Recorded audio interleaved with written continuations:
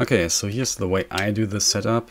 Um, so first of all, during the day you want to already get to this fence and optimally, um, let me bring this up. So you can do a twisted deku backflip here um, without culling the grass. If you do a gainer, you will guaranteed cull the grass.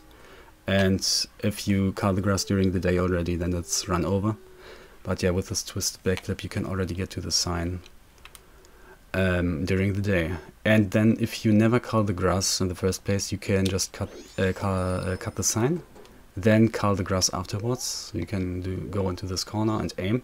Now the grass is gone and then respawn it. And now the grass is in the right place in memory. So this is what I think is probably the optimal strat. So um, you can look at my watch that says Held actor. If I charge a Deku bubble now, uh, this is the right address where the bubble is supposed to go. So you can check in practice if you got it right. But anyway, so now we go to the bomber kid.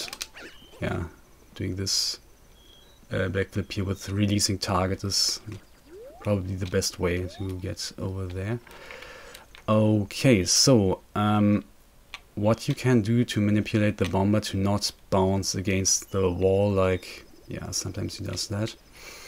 Um, if I just go straight to the bomber, it's a little bit hard to control and sometimes um, just bounces against the wall. Okay, now I cannot get it. But a way to prevent getting him uh, bouncing against the wall is if you walk like this slowly, you will not bounce against the wall usually. So walk slowly and yeah, I actually want him to get more in this uh, direction. So just walk slowly.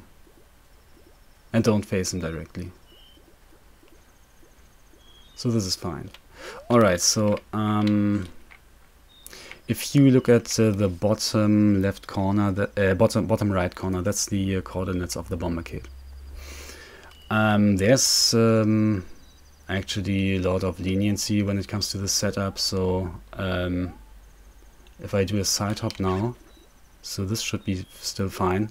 If you if you are very far to the left like I was and need to cro uh, cross a lot of distance, you can do side hop like that. And now, okay, in uh, the the Z position of the bomber kid says 17 uh, minus 1728. That is pretty average, I would say. If I go back to here. Um, if you you are not so far left then uh, usually I just do this walking. Let's see what uh, this is now. Okay I, I got pretty much the same uh, Z position again. Um, but yeah uh, it tends to vary from minus 1724 up to minus 17 31 or something like that. I've gotten it with all those Z positions before. So it, it is probably very lenient, at least as far as I can tell right now.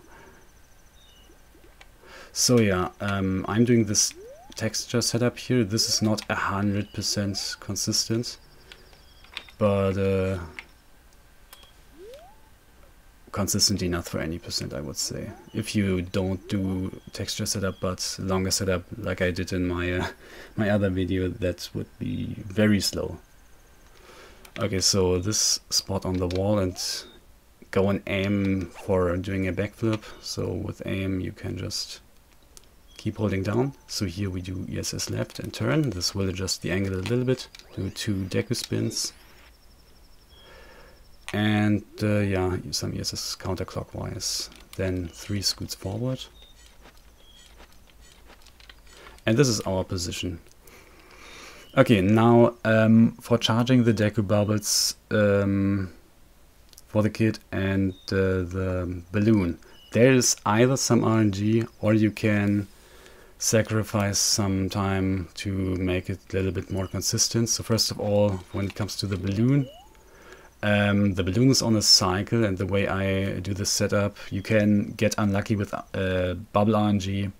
And yeah, if you get unlucky with the bubble RNG and the balloon is floating upwards, then that's rip. But you can make it more consistent if you start everything when the balloon is like here. So when it's about up. Um, then I turn around and start targeting here and now start charging Deku Bubble for the bomber kid. Now with the bomber kid it's quite the same story. Well, not quite.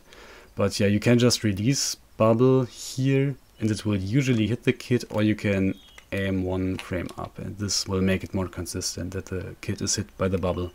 So let's just aim up for a frame in this example. Okay, now uh, when you release bubble you want to target for that one, one frame or else you will go in first person mode. You, you don't want that. Okay, once you release the bubble you can start holding down to turn around. So after two frames you turn around. Then you need to advance one more frame. On this frame you cannot input the B input yet. So you need this frame and now we can start charging um, this bubble here. Now for this bubble, um, my visual cue is just the size of the bubble. Um, this is the frame we want. And then we aim up for 5 frames. And on this frame we release the bubble. Then hold left for 2 frames. On the first frame the bubble is actually invisible and then second frame it's there again. So now we want to cancel targeting, so press A for one frame. Then for one frame hold right to turn. And for one frame only input Z to target. But uh, keep keep targeting here. Now we start the side hop. Um, and because this is Majora's Mask and we just started targeting for this side hop, we actually need to hold down. So hold down and A, start the side hop. And then release control stick again. So this is just a one frame tap side hop. Okay, then advance five more frames. Up to here. And now we start charging the bubble and walk right. So hold right and B uh, for 8 frames total, but I'm gonna advance 7 frames for my visual cue. So this is the 7th frame and it's pitch black and it, it is always uh, this pitch black. But the, the 8th frame, okay, now I got this uh, where it's just uh, nothing. So the camera is somewhere inside the, the tree, so you uh, the, the tree is just gone. Um, but sometimes, depending on your initial position, since this is just a texture setup, it's not 100% cons consistent. Sometimes you, yes, can can also see the tree, or uh, yes, the camera is somewhere in the tree. So the seventh frame visual cue when it's pitch black is consistent, but this one is not. So I I would um, look out for the the pitch black frame. So um, now on this frame we start holding down to aim up for 7 frames. And then control stick up to aim down for 1 frame. Okay, and now we start side hop, hold right and A for 1 frame. And then you actually release target and this will result in a twisted side hop. So yeah, uh, just keep holding right and B, and then you can unpause and just let the game do its uh, thing. Okay, and once the text box, uh, no, once the Deku bubble expired, you can can uh, press the text box. All right, if you have not during all your pause buffering put your cursor on nuts or somewhere else in the menu, you should do this now. You have time to pause uh, to get your cursor in the menu on this page for as long as the smoke is still there. This is about 3.5 seconds you still have after the balloon exploded.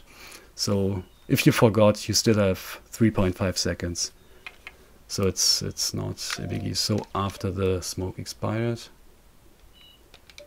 then you should have the glitch, okay? And then um, yeah, scroll up 12 times. So I got one, two, three, four, So, um, depending on where you put your items in the file name, you get them in different uh, parts of the memory. So, when I, I scrolled up 12 times, uh, so this here will be your third character of your file name. And capital F was hookshot. Um, the, what was it, the um, lowercase p is Goron mask, lowercase r as Visual Studio Mask. So these here would be character 3, 4 and 5. Uh, and then yeah, this is 6, 7 and 8. And I recommend always using the sixth character and then either fourth and fifth or um, yeah seventh and eighth for your uh, items because that would minimize uh, cursor movement so this is yeah always always use the sixth letter and then either if you want to scroll left so this is fifth character fourth character but I prefer this side so I just put the very uh, last three letters as my items. And yeah, you can also um, change the, the order of your items by just changing the order of the letters. Uh, and also interesting if I scroll up one more time, so this is, would be 13 times. These two here are the first two characters of your file name. So if you wanted to, you could probably also put items here um, I guess it would not be more cursor movement of like, yeah, so let, us say sixth character, seventh character, and then you scroll up once to the first character. You could also do that, and it would still be the same uh, amount of cursor movement.